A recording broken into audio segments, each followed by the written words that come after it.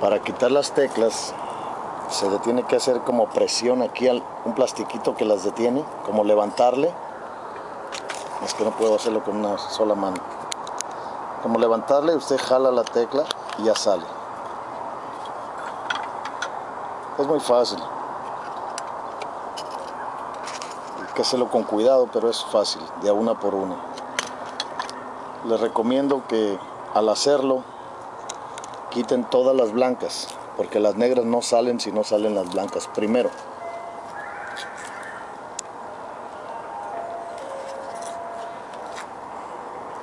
Lo misma operación para las teclas negras.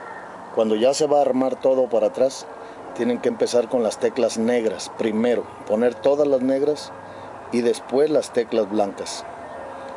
No tiene pierde porque cada tecla tiene un, un nombre. En este caso,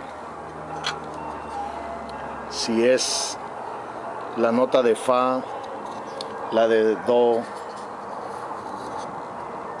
la de Do, la de Fa, son iguales. Así es que no hay pierde por ese lado.